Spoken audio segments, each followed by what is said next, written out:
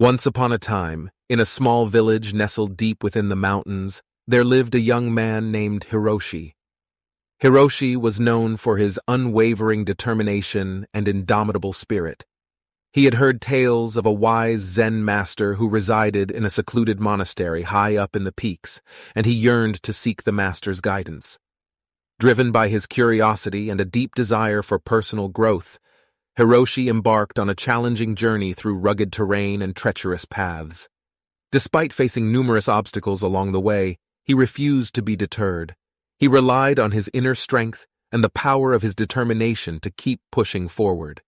Finally, after days of arduous travel, Hiroshi reached the Zen master's monastery. He stood before the master, his eyes filled with awe and reverence. The Zen master, a wizened old man with a serene smile, looked at Hiroshi and said, Welcome, young one. I sense great determination within you. How can I assist you on your path?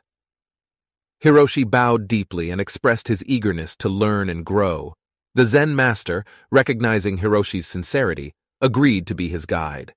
He set Hiroshi on a series of challenges, both physical and mental, designed to test his determination. Months passed, and Hiroshi faced one trial after another. He endured grueling physical exercises, rigorous meditation sessions, and puzzling riddles. Each time he faced an obstacle, he dug deep into the well of his determination, refusing to give up. One day, as Hiroshi sat in deep meditation, a severe storm ravaged the monastery. The thunder roared, the wind howled, and the rain poured relentlessly. The Zen master calmly entered Hiroshi's chamber, unfazed by the chaos outside. Master, Hiroshi asked, his voice barely audible above the storm, how can I find peace and clarity amidst such chaos? The Zen master smiled and handed Hiroshi a small candle. Take this candle and keep it lit, he said. Let it be a symbol of your determination. Protect it from the storm, and you shall find the answers you seek. Hiroshi took the candle and held it close to his chest, shielding it from the gusts of wind that threatened to extinguish its flame. As the night grew darker and the storm raged on, Hiroshi focused all his energy on preserving the candle's light. Hours turned into days, and days into weeks. Hiroshi remained unwavering, his determination shining brightly like the flame of the candle.